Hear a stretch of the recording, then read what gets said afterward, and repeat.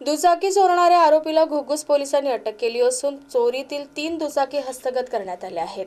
रजनीकांत उर्फ भोला जितेंद्र गिरी असे अटकेतील आरोपीचे नाव आहे. तीन दुचाकी संशयास्पद स्थितीत असल्याची माहिती एका इसमाने घुगुस पोलिसांना दिली आहे. पोलिसांनी माहितीच्या आधारे सदर ठिकाणी जाऊन दुचाकी जप्त केल्या. आरोपी हा घुग्गुस येथीलच रहिवासी असून त्याने एक दुचाकी घराच्या मागे तसेच वेकोलीच्या झाड झुडपात लपवून ठेवल्या होत्या. ही कारवाई ठाणेदार सत्यजित आमले यांच्या मार्गदर्शनाखाली गौरीशंकर आमटे विनोद वनकर सचिन बोरकर सुधीर मत्ते रणधीर चौधरी योगेश शार्दूल सचिन अल्लेवार आदींनी केली आहे.